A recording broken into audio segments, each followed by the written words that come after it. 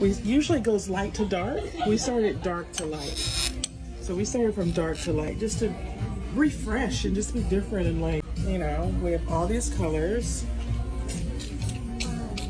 Y'all, look at the representation. Look at the representation. This is what we need.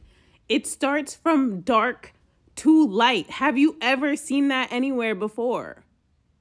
No. Never in my entire life have I seen a beauty brand take the dark shade range first and then go from dark to light and then have an extensive shade range on top of that. Like, I've never been happier. This is called WYN Beauty by Serena Williams. This is her makeup brand. And I'm actually, I gotta get my hands on this. Like, I really wanna try it. I think those are skin tints as well. This is what we need in representation. Having an inclusive shade range is absolutely necessary, including cool undertones, warm undertones, olive undertones, red undertones. Like, we need variety. and this just makes me happy to see. That's it. Okay, bye.